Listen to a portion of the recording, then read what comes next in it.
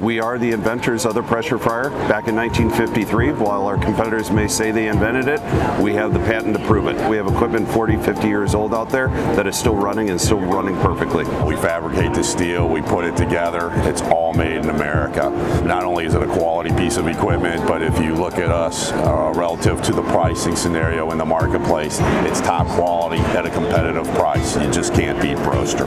Everything is programmed in it talks you through, the control panel talks you through how to use the pressure fryer and you get the support from Broaster Corporate to help you through anything relative to training, post-training, and just ongoing forward with service. Broaster Company has never in the history of the Broaster Company had a failed cooking well under pressure. We've not once had that and I don't think anybody else can say that. We're very proud of our cooking well design. I mean it's round stainless steel, 90 thousandths thick, very, very robust, heart of the machine. When Broaster Broaster engineers new equipment. We really work hand in hand, the engineering team along with our service team, to make sure that, you know, components that need to be frequently changed or the wear and tear on certain items are easy to get to and easy to manage, service, and replace. The programmable touchscreen is an advantage that we have over our competitors. It's programmable, it's got pictures on it, it's intuitive and easy to use.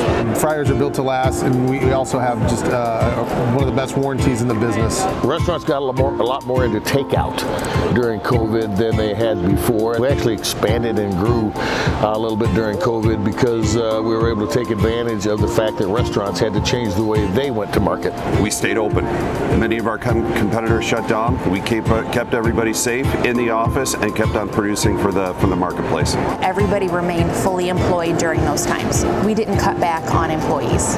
You know, we come to these trade shows like today and people come up to you and they'll say, you know, when I was little, my grandpa would always take us out for Broaster Chicken on Sunday afternoons. And it's always so cool hearing how Broaster Chicken is a memory for them and, you know, a, a generational thing with their family. It's always really cool to see. There's nothing better than a, than fresh, genuine Broaster Chicken out of, out of a Broaster pressure fryer. It's a differentiated product, um, perfectly marinated, perfectly cooked, it's juicy, it's crispy. It's really top of the heap. Fried chicken and pork chops. I absolutely love our spicy wings. Are second to none. Great heat, great flavor. It sticks with you. It's the best you'll ever have.